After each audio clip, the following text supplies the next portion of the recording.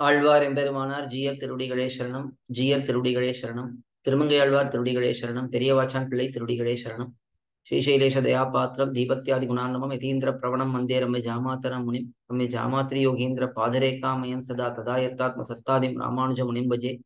லக்ஷ்மீநாத சமாரம்பாம் நாத யாமுன மத்தியமாம் அஸ்மத் ஆச்சாரிய பரியந்தாம் மந்தே குரு பரம்பராம். योनित्यमच्युत पदाम्बुज युग्भरुक्म व्यामोहतस्तदितराणि तृणाय मेने अस्मद्गुरोर्भगवतोऽसि दैहिकसिन्धोः से चरण शरण प्रपद्ये। मातापिता युवते स्तनयाभूति सर्वं यदेव नियमेन मदन्वयानाम् आद्यसेन कुलपते रुकुलाभिरामं श्रीमत्तदङ्ग्रियुगणं प्रणमामि मूर्ध्ना।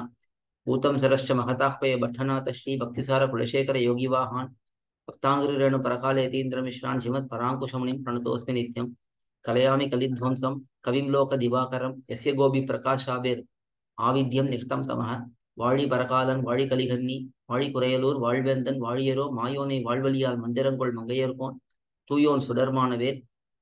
நெஞ்சுக்கிரில் கடிதீபம் அடங்கா நெடும்பிறவி நஞ்சுக்கு நல்ல அமுதம். தமிழ் நல்லூர் துறைகள் அஞ்சுக்கிழக்கிய மாரணசாரம் பரசமய பஞ்சுக்கணலின் பொறி பரகாலன் பனுவல்களே. எங்கள் கதியே ராமானுசமுனியே சங்கை கெடுத்தாண்ட தவராசா பொங்கு புகழ் மங்கையர்கோன் இந்த மறையாயிரம் அனைத்தும் தங்கு மனம் நீ எனக்குத்தா.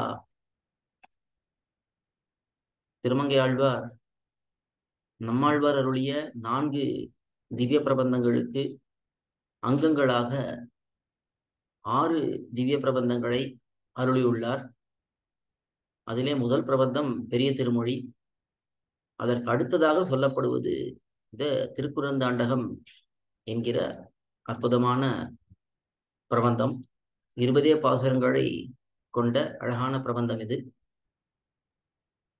ஸ்ரீமத் பரமஹம்சேத்தியாதி எதுகிரி எத்திராஜ் ஜிஎஸ் சுவாமியுடைய நியமனத்தின் பேரிலே இந்த திருக்குறுந்தாண்டகத்திலிருந்து இரண்டு பாசுரங்களை அடியேன் இப்பொழுது விண்ணப்பம் செய்கிறேன். பெரிய திருமொழியிலே வாடினேன் வாடி என்று தொடங்கி எம்பெருமானுடைய திருநாமத்தை எம்பெருமான் விஷயமான திருமந்திரத்தை முதலிலே ஆழ்வார் அனுபவித்தார். அதைத் தொடர்ந்து ஒரு ஒரு திவிதேசமாக ஆழ்வார் அனுபவிக்க தொடங்கினார். திருமந்திரம் நடையாடக்கூடிய இடங்கள் திவிதேசங்கள் என்று வியாக்கியானத்தில் எடுத்து காட்டுவார்கள். பெரியவாச்சான் பிள்ளை முதலானவர்கள். திருமந்திரத்தை நாம் எங்கே பிரத்யட்சமாக அனுபவிக்கலாம் என்றால் திவிதேசங்களிலே இந்த அச்சாவதார எம்பெருமானுக்கு கைக்கரியம் பண்ணுவதன் மூலமாகவும் குணானுபவத்தை பண்ணுவதன் மூலமாகவும் இந்த திருமந்திரத்தினுடைய அர்த்தத்தை நாம் நன்றாக அனுபவிக்கலாம். அப்படி திவிதேசங்களை நன்றாக ஆழ்வார் அனுபவித்தார். பல திவிதேசங்களை மங்களாசாசனம் பண்ணினார். கடைசியாக ஒரு நாள் சுற்றம் என்கிற பதிகம். அதிலே ஒரே பதிகத்திலே நிறைய திவிதேசங்களை ஆழ்வார் மங்களாசாசனம் பண்ணுகிறார். அதற்கு பிறகு ஆழ்வாருடைய நிலையை எம்பெருமான் பார்த்து இவர் இங்கேயே திவிதேசங்களை அனுபவித்துக் கொண்டு திருப்தியாக இருந்து விட்டார் என்றால் இவரை நாம் எப்படி பரமபதத்துக்கு அழைத்துக் கொள்வது? இந்த சம்சாரத்திலே விரக்தி வந்தால்தான் பரமபதத்துக்கு போக முடியும். சம்சாரத்திலே விரக்தி இல்லாமல் நான் பரமபதத்துக்கு போகிறேன் என்று சொன்னால் அது ஏற்கப்படாது. அது எவருமான ஒரு முக்கியமான விதியாக வைத்துக் கொண்டிருக்கிறார். சம்சாரத்திலே நன்றாக விரக்தி ஏற்பட வேண்டும். இந்த சம்சாரம் வேண்டாம் என்று சொல்ல வேண்டும். அதற்கு பிறகு நாம் பரமுகத்துக்கு போவதற்கு எம்பெருமான் வழிவகுப்பான். எல்லாம் பண்றது அவன் தான் அவனே நம்மை அந்தரியாமியாக கூட இருந்து வழிகாட்டியாக இருந்து கொண்டு நம்மை நல்வழிப்படுத்துகிறான். அப்படித்தான் இங்கே ஆழ்வாருக்கு ஆனா நம்மை போல இல்லை ஆழ்வார். ஏன்னா ஆழ்வாருக்கு மயர்வர மதிலும் அருளிவிட்டான் எம்பெருமான். அதை அருளை பெற்றதனாலே ஆழ்வாரும் நிவிதேசங்களிலே அவ்வளவு ஈடுபாடோட இருந்து விட்டார். நமக்கு இந்த உலக விஷயங்களிலே நிறைய ஈடுபாடு. இதிலே நாம் மூழ்கி இருக்கிறோம் ஆழ்வாரை இந்த திவிதேச அனுபவத்திலிருந்து மீட்டு எடுத்ததை போல நம்மை உலக விஷயங்களிலிருந்து எம்பெருமான் தான் மீட்டு எடுக்க வேண்டும்.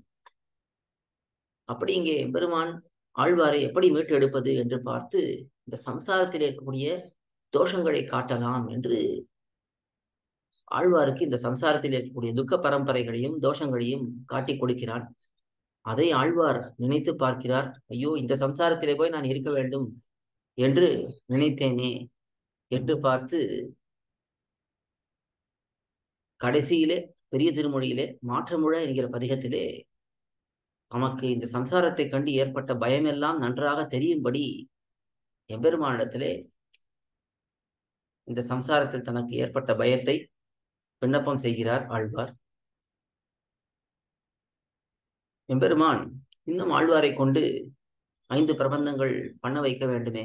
அதனாலே சரி நம்முடைய குணானுபவத்தையும் நம்முடைய பெருவைகளையும் ஆழ்வார் அனுபவிக்கும்படி பண்ணலாம் என்று திருக்குறுந்தாண்டகத்தை ஆழ்வார் பண்ணும்படி எம்பெருமான் செய்கிறார். இதுதான் இந்த ரெண்டு பிரபந்தத்துக்கான சங்கதி. திருமொழியிலே ஆனந்தமாக திவ்ய தேசங்களை அனுபவித்து வந்தவர். கடைசியிலே இந்த சம்சாரம் தனக்கு மிகவும் பயத்தை கொடுக்கிறது. என்று அறிவித்தார். அதற்கு பிறகு ஆழ்வார் நினைக்கிறார் சரி நாம் எம்பெருமானுடைய குணங்களையும் அவனுடைய பெருமைகளையும் நினைத்து நம்மை தரித்து கொள்ளலாம் என்று இந்த திருக்குறுந்தாண்டகம் என்கிற பிரபந்தத்திலே எம்பெருமானுடைய வைபவங்களை எப்படி ஒரு விடாய் கொண்டவன் அதாவது தாகம் எடுத்தவன் தண்ணீரை எடுத்து முகத்திலும் வாயிலும் அடித்துக் கொள்வானோ? அதை போல இங்கே ஆழ்வார் எம்பெருமானுடைய பெருமைகளை நன்றாக அவகாகித்து மூழ்கி அனுபவிக்கிறார். அதிலே இப்பொழுது நாம் மூன்றாம் பாசுரம் நான்காம் பாசுரம் இந்த இரண்டு பாசுரங்களை சுருக்கமாக அனுபவிக்கப் போகிறோம். முதல் பாசுரத்திலே எம்பெருமானை நிதியாக கொண்டாடினார். நிதியினை பவளத்தூணை நெருமையால் நினையவல்லார் கதியினை. கஞ்சன்மாள கண்டுமுன் அண்டமாளும் மதியினை மாலை வாழ்த்தி வணங்கியன் மனத்து வந்த விதியினை கண்டு கொண்ட தொண்டனின் விடுகிலேனே. எம்பெருமான் என்னுடைய மனதுக்குள்ளே வந்து இருக்கிறான். அப்படிப்பட்ட எம்பெருமானை நான் விடவே மாட்டேன் என்று முதல் பாசுரத்திலே சொன்னார். அடுத்த பாசுரம் அந்த எம்பெருமான் எப்படி இருக்கிறான் என்பதை மேலே வர்ணிக்கிறார். காற்றினை புனலை தீயை கடுமதில் இலங்கை செத்த ஏத்தினை இமயம்மேயை எழில்மணி திரளை இன்பவாத்தினை அமுதன் தன்னை. அவனு நான் உயிரை உண்ட கூட்டினை குணங்கொண்டுள்ளம் கூறு நீ கூறுமாறே என்று தன்னுடைய நெஞ்சுக்கே உபதேசம் பண்ணுகிறார். நீ எம்பெருமானையே சொல்லிக் கொண்டிரு. என்ன அழகாக அந்த எம்பெருமானை கொண்டாடுகிறாய். நீ கூறுவது மிகவும் அழகாக இருக்கிறதே என்று இரண்டாம் பாசுரத்திலே காட்டினார். இதை தொடர்ந்து மூன்றாம் பாசுரம் நான்காம் பாசுரம் இவற்றை நாம் இப்பொழுது அனுபவிக்கலாம். பெரியவாச்சான் பிள்ளை இந்த பிரபந்தத்துக்கு சுருக்கமான வியாக்கியானத்தை தான் அருளியிருக்கிறார். ஓரிரு பாசுரங்கள் கொஞ்சம் பெரிய வியாக்கியானம். மற்றபடி இந்த பதிக இந்த பிரபந்தத்தில் இருக்கக்கூடிய எல்லா பாசுரங்களுக்கும் சுருக்கமான வியாக்கியானம் தான் அதை நாம் இப்பொழுது ஓரளவுக்கு அனுபவிக்கலாம். இப்பொழுது மூன்றாம் பாசுரம் ஆயிரம் பறவை தன்னுள் பருவரை திரித்து வானோர் காயிருந்து அமுதம் கொண்ட அப்பனை எம்பிரானை. வேயிருஞ்சோலை சூழ்ந்து விரிகதிர் இரிய என்ற மாயிருஞ்சோலை மேய மைந்தனை வணங்கினேனே. இந்த பாசுரத்திலே ஆழ்வார் திருமாலிருஞ்சோலை திவ்ய தேசத்தை சேர்த்து அனுபவிக்கிறார். எத்தோடே என்றால் எம்பெருமான் கடலை கடைந்து மற்றவர்களுக்காக அமுதத்தை எடுத்து கொடுத்தானே. அந்த சரித்திரத்தையும் திருமாலிருஞ்சோலை திவ்யதேசத்தையும் சேர்த்து அனுபவிக்கிறார். முதல்ல பதவுரை பார்க்கலாம். மா இரும் அகலமும் ஆழமும் உடைய. மா என்பது அகலத்தை காட்டுகிறது இரும் என்பது ஆழத்தை காட்டுகிறது. ரெண்டுமே பெரியங்கிற அர்த்தத்துல தான் வருது. ஆனா ரெண்டு வார்த்தையாக இருப்பதனால் அதை பிரித்து இப்படி விளக்கம் சொல்லுவார்கள். பறவை தன்னுள். பறவை என்றால் கடலை சொல்கிறது. திருப்பார்கடல். நான் திருப்பார்கடலை தானே பெருமான் கடைந்தான். இந்த திருப்பார்கடலை சொல்கிறது. திருப்பார்கடலில் பருவரை பருனா பருத்தன் அர்த்தம். பெரிய. பெரியதான மந்தர மலையை. இந்த மலையைத்தான் இங்கே மத்தாக நட்டான் எம்பெருமான். தேவர்களுக்கு செல்வம் எல்லாம் போய்விட்டது செல்வத்தை மீட்டுக் கொடுக்க வேண்டும். அசுரர்கள் எல்லாம் மிகவும் துன்புறுத்துகிறார்கள். அவர்களுடைய சண்டை போடுவதற்கு சக்தி வேணும். இதற்காக இந்த திருப்பார்களிலிருந்து செல்வத்தையும் தேவர்களுக்கு சக்தியையும் நீண்ட ஆயுளையும் பெற்றுக் கொடுப்பதற்காக அமிர்தத்தையும் எம்பெருமான் எடுத்து கொடுக்கிறான். அந்த சரித்திரத்தை தான் இங்கே காட்டுகிறார். மந்திர மலையை திரித்து சுழலும்படி செய்து அதை நன்றாக சுற்றும்படி செய்து அப்படியே மத்தை கடைவதைப் போலே இந்த மலையை கடைகிறார் எம்பெருமான். வானோர்க்கு ஆயிருந்து தேவர்களுக்காக தன்னை ஆக்கி வைத்து வானோர்க்கு ஆய் இருந்து தேவர்களுக்காக தன்னை ஆக்கி வைத்து அவர்களுக்கு உதவி பண்ணுவோனாக தன்னை அமைத்துக் கொண்டான் எம்பெருமான் அதை சொல்லுகிறார் அமுதம் கொண்ட அப்பனை. அவர்கள் சாபாமைக்கு அமுதத்தை கடைந்து எடுத்த உபகாரகனாய். அமிர்தத்தை கொண்டன இந்த இடத்துல அந்த அமிர்தத்தை எடுத்து அவர்களுக்காக அதை எடுத்தான். அதை சொல்லுகிறார். கடைந்து அமுதம் அமுதத்தை கடைந்து எடுத்த உபகாரகன். அப்பன்கிறத தான் உபகாரகன் சொல்லுகிறார் இங்கே. உபகாரகனை நன்மையை பண்ணுவோன். அப்படி உபகாரகனாய் எம்பினானை அடியனுக்கு அமுதமாய் இருப்பவனாய் அதுக்கு மேல எனக்கு பிரானாக இருக்கிறான். அவர்களுக்கு அமிர்தத்தை அந்த அமிர்தத்தை உப்புச்சாருன்னு தான் சொல்லுவார்கள் நம்முடைய பூர்வாச்சாரியர்கள். அது ஏதோ இந்த உலகத்திலே நாலு நாள் அதிகம் இருக்கும்படி செய்யும் என்று சொல்லுவார்கள். நாலு நாள்னா நாலு நாள் இல்லை. நீண்ட நாள் தான் ஆனா மொத்த பிரளய இந்த பிரபஞ்சத்தினுடைய காலக்கணக்கை பார்த்தா தேவர்களுடைய வாழ்நாளும் குறைந்த நாள் தான் அப்படி இருப்பதனாலே அதே வெறும் நாலு நாட்கள் அதிகமாக இருப்பார்கள் என்று வேடிக்கையாக சொல்வார்கள் பூர்வாச்சாரிகள். நாம நூறு வருஷம் இருக்கோம். அவர்கள் இன்னும் கொஞ்சம் ஒரு லட்சம் வருஷம் இருப்பார்கள். இல்ல நாலு லட்சம் வருஷம் அஞ்சு லட்சம் வருஷம் எத்தனையோ ஒரு பல லட்சம் வருஷங்கள் இருப்பார்கள் வச்சுக்கலாம். ஆனா மொத்த காலக்கணக்கை பார்த்தோம்னா பிரம்மாவுடைய ஒரு நாள் கணக்குல பார்த்தா கூட அது குறைவான நேரம் தான் அதனாலே இந்த இடத்துல நீண்ட ஆயுள் என்றாலும் ஓரளவுக்கு தான் அது நீண்டு இருக்கும் அப்படிப்பட்ட அந்த தேவர்களுக்கு அந்த அமிர்தத்தை கொடுத்து அவர்களுக்கு நீண்ட ஆயுளை கொடுத்தான். ஆனால் எனக்கு எதை கொடுத்தான்? தன்னையே கொடுத்தான். அடியனுக்கு அவனே அமிர்தமாய் இருக்கிறான் அப்படி அமிர்தமாய் இருப்பவனாய் வேயிரும் சோலை சூழ்ந்து உயர்ந்த மூங்கில் சோலைகளாலே சூழப்பெற்று நல்ல மூங்கில் சோலைகள் சூழ்ந்திருக்கிறது. அப்படி சூழப்பெற்று விரி கதிர் இரியன் என்ற விரிந்த கிரணங்களை உடைய சூரியன் அல்ல விரிந்திருக்கக்கூடிய கிரணங்கள் அந்த சூரிய கிரணங்களை உடைய சூரியன் மலையின் மேல் கிரணங்கள் படாமல் விலகி திரியும்படியான திருமாலிருஞ்சோலை மேலே தன்னுடைய கிரணங்கள் படக்கூடாது என்று விலகி விலகி போகிறானாம். ஏன்னா எதுக்கு எம்பெருமான் இருக்கக்கூடிய தீவதேசத்துக்கு ரொம்ப வெப்பம் கொடுக்க வேண்டாம். ஓரளவுக்கு வெப்பம் இருந்தால் போதும். ராவணனுக்கே பயந்து நடுங்கினார்கள் இந்த தேவர்கள் எல்லாம். வியாக்கியானங்கள்ல காட்டுவார்கள். எல்லா தேவர்களும் இந்த ராவணனுக்கு பயந்து வாழ்ந்தார்கள். லங்கைக்குள்ளே சூரியன் எவ்வளவு தன்னுடைய வெப்பத்தை கொடுப்பான்னா நெல்லை அவிக்கிறதுக்கு எவ்வளவு வெப்பம் வேணுமோ அவ்வளவு வெப்பம் தான் கொடுப்பானா அதுக்கு மேலே வெப்பத்தை கொடுத்தா அவனுக்கு ராவணனுக்கு கோபம் வந்துடும் அதனால அதுக்கு மேலே வெப்பத்தை கொடுக்க மாட்டான். ராவணனுக்கே அப்படி பண்ணினானா எம்பெருமானுக்காக அவன் இருக்கக்கூடிய திவிதேசங்களுக்கு பண்ண மாட்டானா? அப்படி விலகி திரியும்படியான மாயிருஞ்சோலை மேய. திருமாலிருஞ்சோலையில் எழுந்தருளியிருக்கும் மைந்தனை இளையவனை வணங்கினேனே. அடியேன் வணங்கினேன். மைந்தன்னா மிகவும் இளமையை உடையவன். எப்பொழுதும் எம்பெருமான் யுவா குமாரக என்று சொல்லும்படிக்கு இளமையோடே இருப்பான் என்று சொல்லுவார்கள். அப்படி இருக்கக்கூடிய எம்பெருமானை நான் வணங்கினேன். இந்த பாசுரம். இதற்கான அவதாரிக்கை சுருக்கமான அவதாரிக்கை மூன்றாம் பாட்டு பாயிரும் சொன்ன வணக்கத்தை சொல்லுகிறார். சொன்ன வணக்கத்தைனா கீழே முதல் பாசுரத்திலே நிதியினை பவள துணைங்கிறதுல வணங்கின்னு இருக்கு. அந்த வணக்கத்தை இங்கே எடுத்து மீண்டும் உரைக்கிறார் என்று சுருக்கமான அவதாரிகை.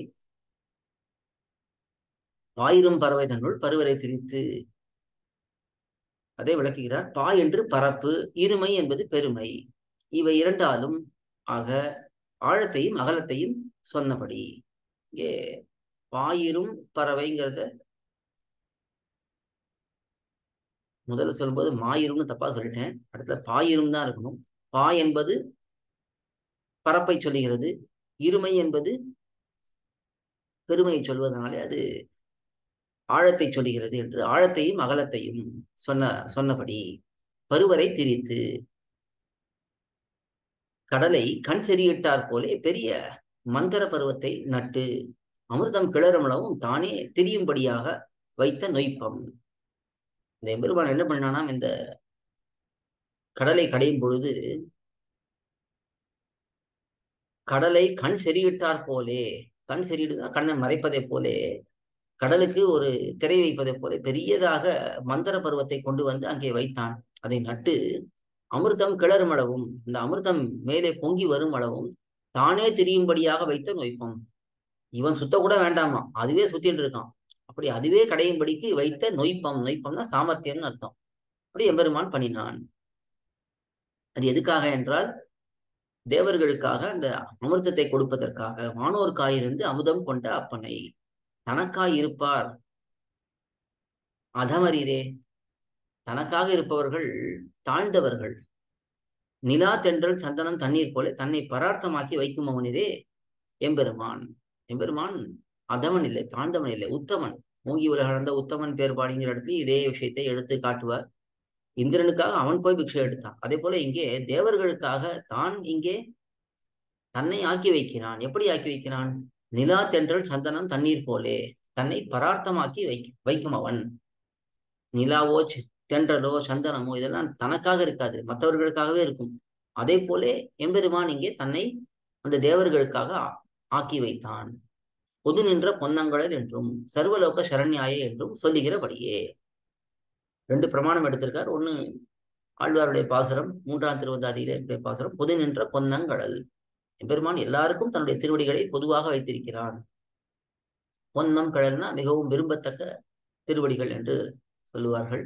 சர்வலோக சரண்யாய ராகவாய என்று எம்பெருமான் ஸ்ரீராமன் எப்படி இருக்கிறான்? எல்லாராலும் வந்து தன் தஞ்சம் என்று பற்றும்படி இருக்கிறான் என்று ஸ்ரீராமாயணத்திலிருந்து ஒரு பிரமாணம். அப்படி என்றும் சொல்லுகிறபடியே எல்லாருக்கும் தன்னை பொதுவாக்கியரே வைப்பது. எம்பெருமான் எல்லாருக்கும் தன்னை பொதுவாக வைத்திருக்கிறான். தேவானாம் தானவானாம் ச சாமானியம் அதிதெய்வ அதிதெய்வத்தம் என்று ஜிதந்தே ஸ்தோத்திரத்தை நாம தினமும் திருவாராதனம் பண்ணும்போது முதல்ல சொல்லக்கூடிய ஒரு ஸ்லோகம் இது. அதிலே எம்பெருமான் தன்னை பொதுவாக வைத்திருக்கிறான். சமூகம் சர்வபூதேஷு. இது பகவத்கீதையிலே சொல்லியிருக்கிறார். இப்படி பல இடங்கள்ல பல பிரமாணங்களை காட்டுவார்கள். ஏ எப்படி தன்னை பொதுவாக்கியரே வைப்பது? ஆசை இல்லாதார் இழந்து விடுமத்தினை ரொம்ப அழகான தத்துவார்த்தத்தை காட்டுகிறார். எம்பெருமான் தன்னை எல்லாருக்கும் பொதுவாகத்தான் வைத்திருக்கிறான். யாருக்கு ஆசை இல்லையோ அவர்கள் அதை அவரது எம்பெருமானை இழந்து விடுகிறார்கள். ஆசை இருப்பவர்கள் அவனை பெற்று போகிறார்கள். அப்பனை உபகாரகனை. அப்பன் என்றால் உபகாரம் பண்ணுபவன். பிரயோஜனாந்தரபரான பரரான அந்தர ஜாதிகளுக்காக தன்னை அழிய மாறி அநேகம் வடிவு கொண்டு உபகரிக்கும் அவனை. பிரயோஜனாந்தர பரர் யாரு? தேவர்கள் தான். அந்தர ஜாதிகள் அந்தர ஜாதிகள்னா இந்த தேவர்களை அப்படி சொல்லுவார்கள். இது சாடுன்னு கீழே காட்டியிருக்கார். சாடுன்னா ரெண்டு அர்த்தம். அந்தர ஜாதிகள்னா மனிதர்களிலிருந்து வேறுபட்ட தேவர்களாக இருக்கிறார்கள் தாழ்ந்தவர்கள்னு சொல்லுவார்கள். எதனாலேன்னா இப்படி பிரயோஜனாந்தர பரர்களாக இருப்பதனாலே. இப்படி அந்தர ஜாதிகளுக்காக தன்னை அழிய மாறி தன்னை தாழ்த்தி கொள்கிறான். மற்றவர்களுக்காக கூர்மா அவதாரம் அடிக்கிறான் வராக அவதாரம் அடிக்கிறான். இப்படி தன்னையே அழிய மாறி அநேகம் வடிவு கொண்டு உபகரிக்கும் அவனை. இந்த அவதாரத்திலே எம்பெருமான் நிறைய அவதாரங்கள் பண்ணிக்கிறான் நமக்கு தெரிஞ்சது கூர்மா அவதாரம் தான் நாம் பார்க்கிறோம். ஆனா இதை வியாக்கியானங்கள் எடுத்து காட்டியிருக்கிறார்கள். எம்பெருமான் கூர்மாவதாரம் எடுத்து இந்த மந்திரமலைக்கு கீழே அதை தாங்கி கொண்டு நிற்கிறான். அது அசைந்து விடாதபடிக்கு. தேவர்கள் பக்கத்திலே ஒரு உருவத்தை எடுத்துக்கொள்கிறான் அசுரர்கள் பக்கத்திலே ஒரு உருவத்தை எடுத்துக் கொள்கிறான் மலைக்கு மேலே இருந்து கொண்டு மலை பிறழாதபடிக்கு மேலே அமைக்கிக் கொள்கிறான். இப்படி பல அவதாரங்களை எடுக்கிறான். ஆயிரம் தோளால் அலைகடல் கடைந்தான். அம அரங்கமா நகரம் வந்தானே என்று அடியில் இருக்கக்கூடிய இந்த திவ்யதேசம் ஸ்ரீரங்கம். இங்கே எம்பெருமானை மங்களாசாசனம் பண்ணும் பொழுது ஆழ்வார் திருமங்கை ஆழ்வார் இப்படி ஆயிரம் தோளால் அலைகடல் கடைந்தான். அரங்கமா நகரமர்ந்தானே என்று மிக அழகாக இந்த எம்பெருமானுடைய அழகை வர்ணிக்கிறார். ஆயிரம் தோளாங்கிறாங்க ஆயிரம் தோல் இருக்கான்னா ரொம்ப அங்கே சொல்லுவார்கள். நாலு தோல் தான் இருக்கேன் எம்பெருமானுக்கு. நான் இப்போ மின்விசிறியெல்லாம் சுத்தும் பொழுது நாலு ரெக்கை இருந்தாலும் சுத்தும் பொழுது அது பல ரெக்கைகள் இருக்கிற மாதிரி இருக்கு இல்லையா? அதே போல எம்பெருமான் அவ்வளவு வேகமாக சுழன்று சுழன்று அதை கடைந்தானாம். அப்பொழுது அவனுக்கு நாலு தோழே ஆயிரம் தோல் போலே தெரிந்தது என்று அங்கே சொல்லுவார்கள். அப்படி அவர்களுக்காக தனக்கு நிறைய உருவங்களை எடுத்துக்கொண்டு உபகாரம் பண்ணினானே. அப்படிப்பட்ட எம்பெருமான். எம்பிரானை எம்பிரான்னு சொல்றது தம்முடைய அமிர்தம். இது வரைக்கும் மற்றவர்களுடைய அமிர்தத்துக்காக எம்பெருமான் உழைத்ததை கஷ்டப்பட்டதை சொன்னார். ஆழ்வாருக்கு எது அமிர்தமா இருக்கு? எம்பெருமான் தான் அமிர்தமாக இருக்கிறான். அது உப்புச்சாறு இது உண்மையான அமிர்தம் என்று காட்டுகிறார். அதுக்கு மேலே வேயிருஞ்சோலை சூழ்ந்து விருகதிர் எரிய நின்ற மாயிருஞ்சோலை மேய மைந்தனை வணங்கினேனே என்று இரண்டாம் பகுதி. மூங்கில் குழாங்களாலே சூழ்ந்து நல்ல மூங்கில் கூட்டங்களாலே சூழ்ந்து விஸ்திருத்த கிரணனான ஆதித்யன் விரிந்திருக்கக்கூடிய விஸ்திருத்தன விரிந்திருக்கக்கூடிய கிரணன் கிரணங்களை உடைய ஆதித்யன்.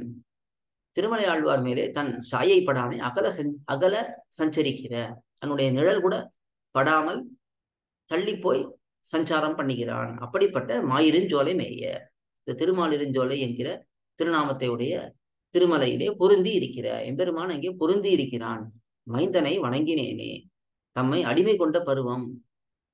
ஆழ்வாரை எம்பெருமான் தன்னுடைய இளமையை காட்டி மயக்கினான் அடிமையாக ஆக்கி கொண்டான். அதனால்தான் தம்மை அடிமை கொண்ட பருவம்னா ஆழ்வாரை இந்த எம்பெருமானுடைய இளமை பருவம்தான் மயக்கியது என்று காட்டுகிறார்.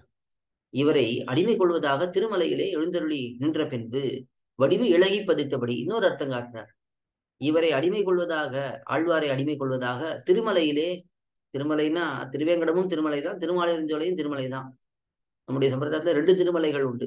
தெற்கு திருமலை வடக்கு திருமலை என்று சொல்லுவார்கள். அப்படி இந்த திருமலையிலே எழுந்தருளி நின்ற பின்பு அங்கே எம்பெருமான் வந்து சேர்ந்த பிறகு வடிவு இழகி பதித்தபடி இன்னும் இளமை வந்துடுதான் எம்பெருமானுக்கு. ஏன்னா ஆழ்வாருக்காக இங்கே வந்திருக்கிறான். அப்பொழுது வர வர இந்த திருமலையிலே வந்து சேர்ந்த பிறகு இன்னும் திருமேனி இழகிவிட்டது இழகி பதித்ததுன்னா நன்றாக இளமையாக ஆகிவிட்டது. அப்பனை என்று கீழே ஒரு முதுமை சொல்லி இப்போது மைந்தனை என்கிறார்களே என்ன அனுபவம் ஆழ்வாருக்கு? அதை பார்த்து ஆச்சரியப்படுகிறார் பெரியவாச்சான் பிள்ளை கீழே அப்பனைன்னு சொல்லி ஒரு முதிர்ச்சியை காட்டினார். முதுமை சொல்லினா ஒரு முதிர்ச்சி. அப்பான்னாலே பெரியவர் தானே சொல்லுவோம். அங்கே அப்பனை என்று சொன்னார். இங்கே மைந்தனை என்கிறார். இதனே இது? எம்பெருமான் வயது முதிர்ந்தவனா இல்லை இளமையானவனா எம்பெருமானை அப்படி அவன் பண்ணக்கூடிய நன்மையை பார்த்தால் அப்பனாக தெரிகிறான். அதே அவனுடைய திருமேனியை பார்த்தால் இளமையாக மைந்தனாக தெரிகிறான். அப்படி ஆழ்வார் இங்கே அனுபவிக்கிறார் என்று மூன்றாம் பாசுரம் பாயிரும் பறவை தன்னுள் பருவரை திரித்து வானோர் காயிருந்து அமுதம் கொண்ட அப்பனை எம்பிரானை வெயிரிஞ்சோலை சூழ்ந்து விரிகதில் இரியன் நின்ற மாயிருஞ்சோலை மேய மைந்தனை வணங்கினேனே. இதை அனுபவித்தோம். அடுத்ததாக நான்காம் பாசுரம் கேட்கையான் உற்றதுண்டு கேடலாய் உலகம் கொண்ட பூக்கெழு வண்ணனாரை கோதர கனவில் கண்டு வாக்கினால் கருமந்தன்னால் மனத்தினால் சிரத்ததன்னால் வேட்கை மீது ஊற வாங்கி விழுங்கினேற்கு இனியவாறே. இந்த எம்பெருமானை நான் எப்படியெல்லாம் அனுபவித்தேன்? அந்த எம்பெருமான் எனக்கு எவ்வளவு இனிமையாக இருக்கிறான் என்று இந்த பாசுரத்திலே காட்டுகிறார்.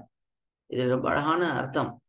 இப்பொழுது ஆழ்வார் எம்பெருமானை மிகவும் ஸ்ரத்தையோடே மிகவும் ஆசையோடே மிகவும் ஈடுபாட்டோடே அனுபவிக்கிறார். அதனால எம்பெருமான் இனிமையாக இருக்கிறான் என்பது மட்டும் சொல்லப்படவில்லை இங்கே. எதையெல்லாம் அனுபவித்த நான் இப்பொழுது இந்த இனிமையான எம்பெருமானை நான் அனுபவித்து ஆனந்தப்படுகிறேனே என்ன ஆச்சரியம் எம்பெருமான் எப்படி என்னை இப்படி மாத்தி இருக்கிறான் என்று இந்த பாசுரத்திலே ஆழ்வார் கேட்கிறார் என்பது உட்கருத்து. பதவுரை பார்க்கலாம். யான் அடியேன் கேட்க கீழ்கண்ட விஷயத்தை கேட்பதற்கு உற்றது உண்டு. முற்பட்டு நின்றேன். இந்த விஷயத்தை உன்னிடத்துல கேட்கணும். இந்த எம்பெருமானை பார்த்து ஆழ்வார் சொல்லுகிறார். இந்த எம்ப இந்த விஷயத்தை உன்னிடத்துல நான் கேட்க வேண்டும். அதுக்காக நான் இப்பொழுது காத்திருக்கிறேன். அது என்ன? என்று கேட்டால் கேழலாய் வராக ரூபத்தை உடையவனாய் உலகம் கொண்ட பூமியை தந்தத்தாலே எடுத்து வ எடுத்து வந்த பூமியை அந்த அண்ட பித்தியிலிருந்து அந்த அண்டத்தினுடைய சுவற்றிலிருந்து குத்தி எடுத்தான். அப்படி எடுத்து வந்த பூக்கெழு வண்ணனாரை பூ போலே மென்மையை உடைய எம்பெருமானை எம்பெருமான் மிகவும் மென்மையாக இருக்கிறான் பூவை போலே மென்மையாக இருக்கிறான். அப்படிப்பட்ட எம்பெருமானை கனவில் கனவில்னா இந்த இடத்துல நெஞ்சில்னு வச்சுக்கணும். நம்ம மனதிலே தானே இந்த கனவுங்கிறது வருது. அப்படி அந்த நெஞ்சில் போதகர் மிகவும் கண்டு அனுபவித்து வாக்கினால் கருமம் தன்னால் மனத்தினால் மொழி மெய் மனம் என்னும் முக்கரணங்களாலும் சிரத்தை தன்னால் சிரத்தைனா ஸ்ரத்தைங்கிறது தமிழ்ல சிரத்தைன்னு வந்திருக்கு. ஸ்ரத்தையாலும் வேட்கை மீது ஊற வாங்கி ஆசை மிகும்படி ஏற்றுக்கொண்டு நன்றாக வாங்கி கொண்டு விழுங்கி நேர்க்கு அனுபவிக்க பெற்ற எனக்கு இனியவாறே. இந்த பகவத் விஷயம் இனிதாய் இருக்கிற இருந்ததே. இது எப்படி என்பதை நான் கேட்க விரும்பியது. இந்த எம்பெருமான் விஷயம் எனக்கு இவ்வளவு இனிமையாக இருக்கிறதே. இது எப்படி நடந்தது? ஏன்னா முன்பெல்லாம் நான் எம்பெருமான் விஷயம்னா விலகி விலகி போயிட்டு இருந்தேன். அப்படிப்பட்ட எனக்கு இப்பொழுது எம்பெருமான் விஷயம் இவ்வளவு ரசிக்கிறதே என்று ஆழ்வார் இந்த பாசுரத்திலே காட்டுகிறார். வியாக்கியானம் நாலாம் பாட்டு. கேட்க யான் உற்றதுண்டு? அடியேன் தேவரீரை ஒன்று கேட்கல் உற்றேன் நேர எம்பெருமானை பார்த்து ஆழ்வார் இங்கே சொல்லுகிறார். அடியனுக்கு ஒரு ஆசை. தேவரீரிடத்துல ஒரு விஷயம் கேட்கணும் என்ற ஆசை. அத்தை அருள் செய்ய வேணும். தேவரீர் அதற்கு பதில் சொல்ல வேணும். அவ்வளவு அழகா வியாக்கியானத்திலே நம்முடைய பரிபாஷையை விடாமல் கொண்டிருக்கிறார்கள். ஒரு ஒரு இடத்துலையும் பெரியோர்களை பார்த்தால் எப்படி பேச வேண்டும்? தேவரீர் அடியேன் குடிசை திருமாளிகை இப்படி போன்ற வார்த்தைகளை எல்லாம் அருள் செய்வது. சொன் சொல் சொல்லுவதுன்னு சொல்றதும் ஒண்ணுதான். அருள் செய்வதுங்கிறது ஒண்ணுதான். அர்த்தம் ஒண்ணுதான். ஆனா அருள் செய்வதுங்கிறது எவ்வளவு அழகான ஒரு வார்த்தையாக இருக்கிறது. அப்படி வியாக்கியானத்துல இதெல்லாம் பார்த்து ரசிக்கலாம். அது என்ன என்பது எம்பெருமானை பார்த்து ஆழ்வார் அப்படி சொன்ன உடனே அடியன் தேவரீரை ஒன்று கேட்க கேட்கலுற்றேன் அத்தை அருள் செய்ய வேணும். அது என்ன என்பது அது என்னது? என்ன கேட்க விரும்புகிறீர்? என்று எம்பெருமான் ஆழ்வாரை பார்த்து கேட்க அதுக்கு ஆழ்வார் பதில் சொல்கிறார். கேழலாய் உலகம் கொண்ட பூக்கெழு வண்ணனாரை. புஷ்பஹாச சுகுமாரமான வடிவை மானவிலா பன்றியாக்கி நிலம் கோட்டிடை கொண்டது.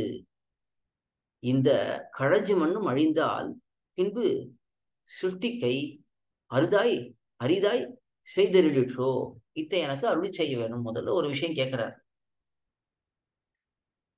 இதெல்லாம் பாசுரத்தை வைத்தே இந்த வாக்கியத்தை அமைத்திருக்கிறார். புஷ்பஹாச சுகுமாரமான வடிவை உன்னுடைய திருமேனி எப்படி இருக்கு? புஷ்பஹாச சுகுமாரமாக புஷ்பத்தை போல மிக மென்மையாக இருக்கக்கூடிய திருமேனி அந்த வடிவை மானவிலா பன்றி ஆக்கி இது நாச்சியார் திருமொழியிலே மானவிலா பன்றி என்று ஆண்டாள் நாச்சியார் எம்பெருமானுக்கு ரொம்ப அழகான ஒரு திருநாமத்தை காட்டுகிறாள்.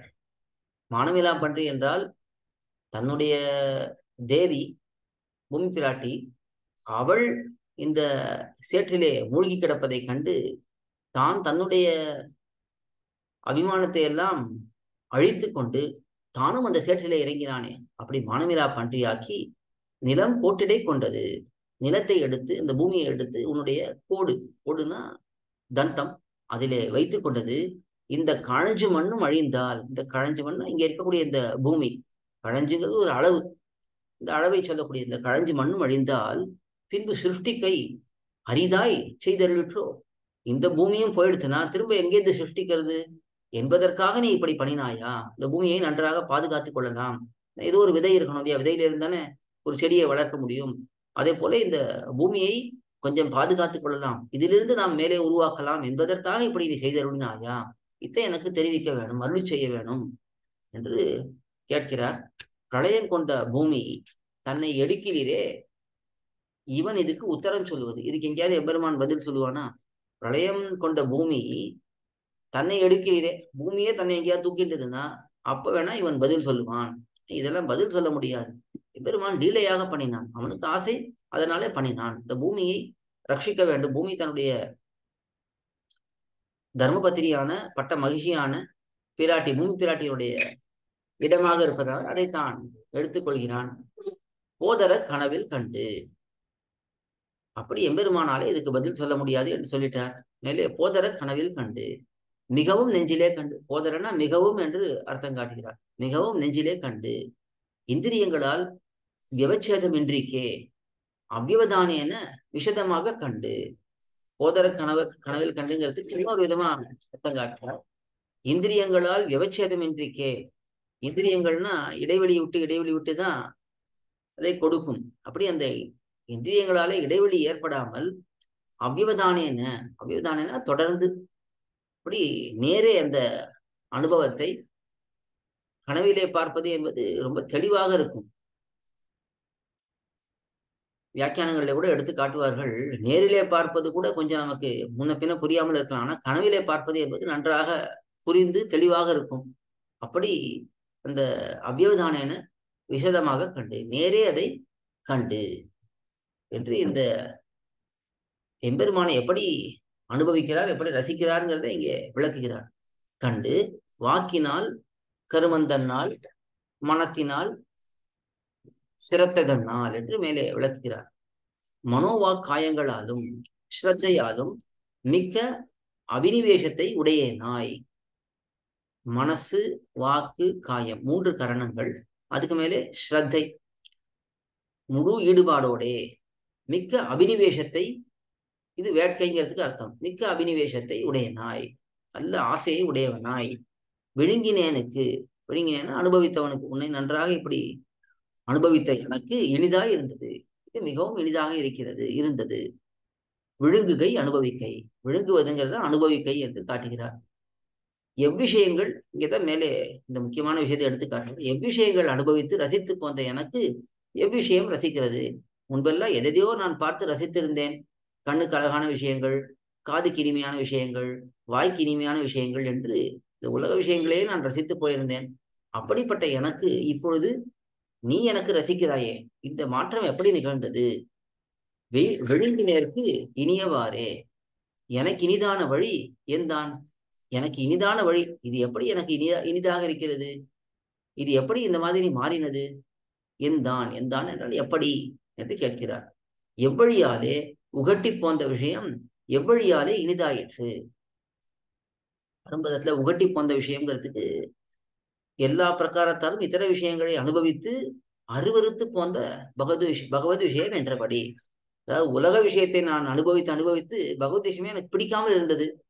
அப்படி இருந்த எனக்கு எவ்வழியாலே இனிதாயிற்று இது எவ்வழியாலே எந்த விதத்திலே எனக்கு எந்த வழி மூலமாக இது இனிதாக ஆனது?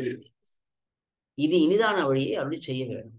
இது எப்படி எனக்கு இனிதாக ஆனது என்பதை அருளி செய்ய வேண்டும் என்று எம்பெருமானையே பார்த்து ஆழ்வார் கேட்கிறானே. எம்பெருமானுக்கு தானே தெரியும்.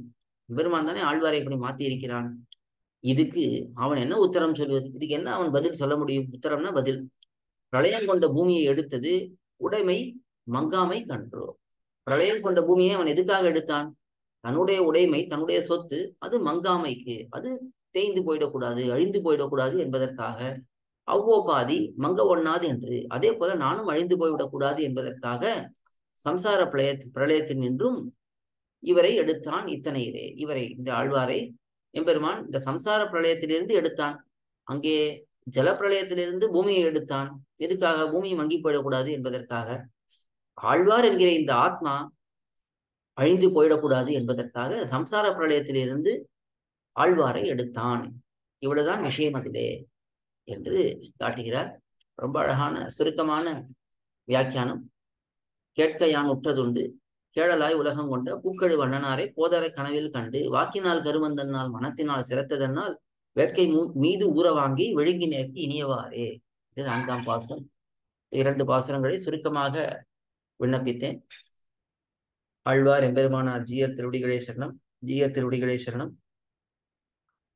திருமங்கை ஆழ்வார் திருடிகளே சரணம் பெரிய வாசான் பிள்ளை திருடிகளே சரணம்